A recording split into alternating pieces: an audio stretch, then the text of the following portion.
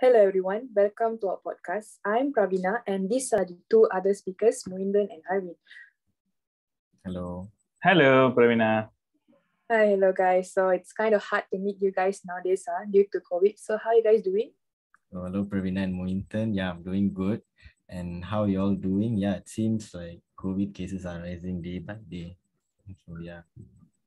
Hello, Praveena and Arvin. I'm kind of sick, but still manageable. Yeah.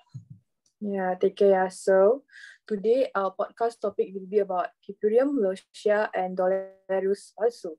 So based on my understanding, Puerperium is the period of adjustment after childbirth during uh, which the mother's reproduction system returns to its normal pre-pregnant state.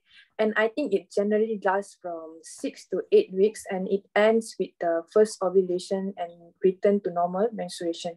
So is that true, guys? What do you guys think about this? Oh, that's a very good explanation, Praveena. But based on my understanding, the puerperium is also known as the postpartum period, where it begins immediately after the childbirth. Uh, and it can be explained by the fact that the larger the litter, the more likely the placenta will be retained. And the irritation of the membrane can result in the atonia of the uterus, placentitis, or placental necrosis. And the evidence for the retained placenta can be obtained both by vaginal examination and by abdominal palpation. So what do you think uh, about uh, this thing, Arvin? So to add to your point, uh, an explanation. So the retained placenta can be observed by dark black green, sometimes friable vaginal discharge.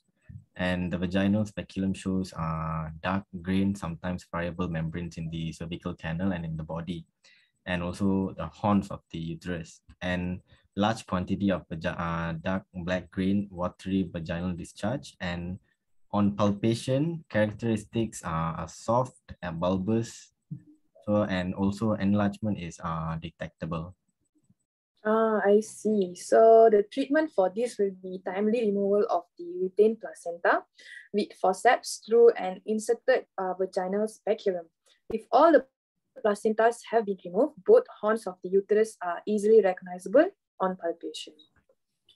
So that is a very good point actually. So let's talk about the second point. So what do you guys think about uh, the postpartum uterine inversion and prolapse? So prolapse uh, of the uterus can be observed after an easy rapid birth or more rarely after a long and difficult parturition and can be also completed or incomplete. The incomplete pro uh, prolapse has a cylindrical appearance and the complete uterine prolapse uh, looks Y-shaped. If the prolapse exists for a long time, the surface dries out and necrosis occurs. So, Mohinton, what do you think about the therapy or treatment will be? Um, based on this case, the conservative treatment only indicate uh, in the fresh cases, except in a very calm patient, reprocessing is carried out under general uh, sedation and the prolapse uterus is replaced up to the end of the horn, which is the tip of the vaginal speculum. This process is controlled by palpating the abdomen. Uh, Praveena, what do you think the surgical method should be? Yeah?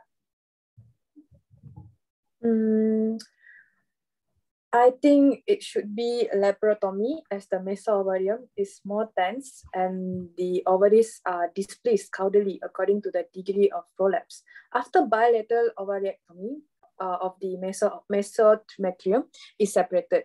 The prolapse part of uterus can be replaced in abdominal cavity by gently pulling on the non-prolapse uterus while simultaneously aiding repositioning with the tip of vaginal speculum uh, via vagina. Hysterectomy is carried out using a catgut stump ligature. And the postpartum hemorrhage is caused by birth injuries and placental necrosis or develops from subinvolution of the placental sites. So bleeding can be vary in its intensity. Oh, I like to add to that. For the the therapy should indicate a lower grade hemorrhage, where the point will show from 1 to 4 uh, IU oxytocin, uh, big and tip moderate. Uh, hemorrhage should show around 25 to 50 mg. And uh, another one will be higher grade hemorrhage, where you can do hovisotrachtomy or blood transfusion. Hmm. So do you guys know the delayed involution of uterus is the most commonly occurring pathology of puerperium is the postpartum atony of uterus. The cause are long birth, overstretching of the wall of uterus by a large number of fetus, increased age, overweight mother, and disease in mother before or during parturition. And the therapy is 1 to 4 IU of oxytocin, SU, BID, or TID. Okay, so this will surprise you. The postpartum intox uh, intoxication uh, and infections arise from the reabsorption of toxins from the dammed up contents of the uterus.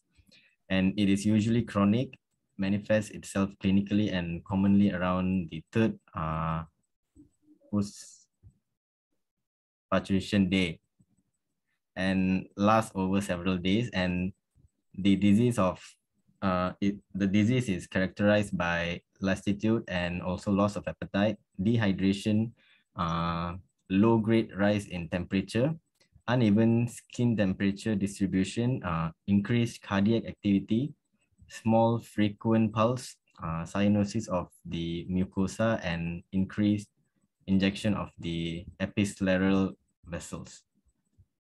Uh, I like to add to that. Uh, the vaginal discharge is a mucus, a grayish red brown color, and has an unpleasant sweetish odor. On palpitation, a fully contracted uterus is detected. The process in general proper infection is more stormy. The symptoms are exhaustion, loss of appetite, dehydration, high grade increase, body temperature, increased cardiac activity, small frequent plus, radiant mucosa, increased excretic tension, vomiting, and uh, complete suppression of lactation. And the lochia are evident as in total intoxin grayish brown of a mucus consciously and with unpleasant suggestionalia. Hmm then the therapy uh, should be for this should be uh, antibiotics or infusion. Have you guys heard that one particular form of puerperal infection is placental necrosis?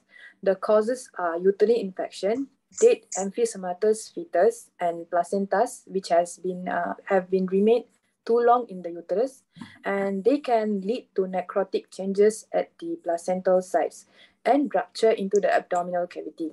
Clinically, the symptoms are recognizable as those of a rapid onset septicemia. The beach declines very quickly.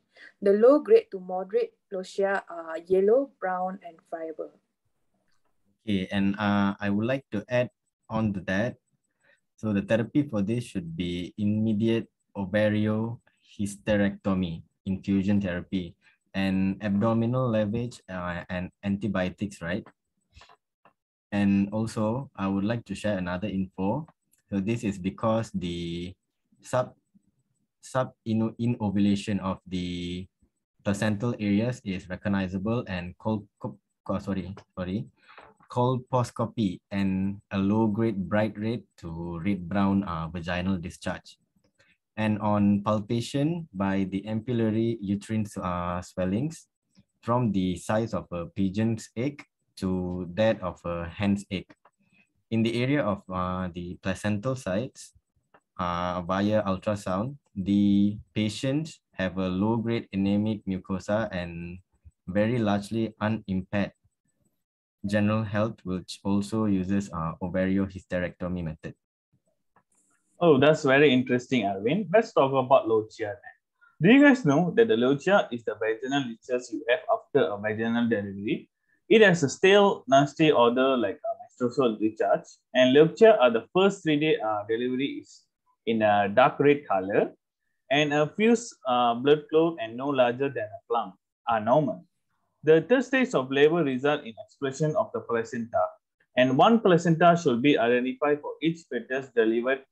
And uh, they are usually attached to the fetus by the umbilical cord and emerge with the fetus but may emerge also within 15 minutes uh, to several hours if they become detached. Ah, that's interesting. Lochia, a greenish vaginal discharge, indicates placental separation and may be seen during all stages of labor. Following parturition, the discharge gradually becomes red-brown, decreasing in volume over four to six weeks as uterine involution takes place. Do you guys know that uh, anything about the postpartum com complications? So So, uh, Praveena, uterine uh, inertia is uh, defined as a labor in which uh, the first stage has lasted for 48 hours and or more in the absence of pelvic contraction. The delay being associated with uh, abnormal uterine action, which is classified into uh, primary uterine, uh, sorry, uterine inertia and also secondary uterine uh, inertia. So Mohinton, can you explain about the primary uterine? Ah, okay, Arvind. Uh, the primary is described as the total of the partial absence of contraction to the expel of a normal fetus through an unobstructed. And several causes have been found. Breed predisposition, large litter, overstretching the uterus, and small litter not stimulating the uterus enough. Small fetus cannot apply enough pressure on the uterine wall and the cervix to set up the Ferguson reflexes. Systematic disease, obesity, and lack of exercise, hypocalcemia, and septicemia are one of the reasons. Complete primary uterine inertia occurs if second stage labor does not begin, and partial inertia occurs if the second stage begin but contraction soon fail. Praveena, what do you think about the secondary uterine inertia?